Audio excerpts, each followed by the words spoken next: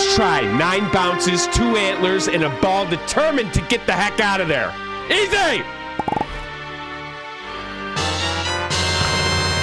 Don't spook the deer. Don't spook the deer.